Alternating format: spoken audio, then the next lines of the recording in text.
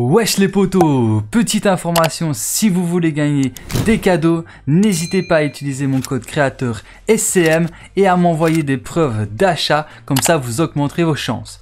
Et sur ce, je vous souhaite à tous une bonne vidéo, let's go Wesh les potos Bienvenue sur ma chaîne YouTube, c'est Swakulo Mike et dans cette vidéo, je vais vous aider à réaliser le défi qui est d'infliger des dégâts à des adversaires avec des armes extraterrestres.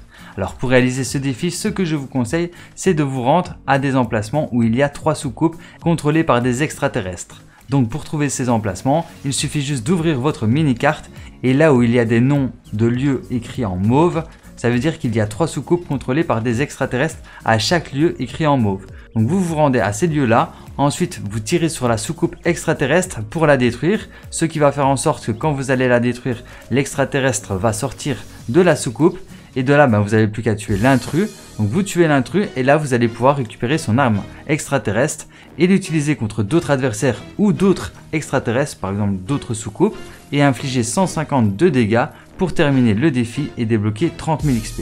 Donc voilà qui termine cette petite vidéo d'information, j'espère qu'elle vous aura été utile. Si c'est le cas, n'hésitez pas à liker, à partager et à vous abonner si ce n'est pas encore déjà fait. Et sur ce, ben, moi je vous dis à très bientôt pour plus de vidéos. C'était sur le mec et ciao. Peace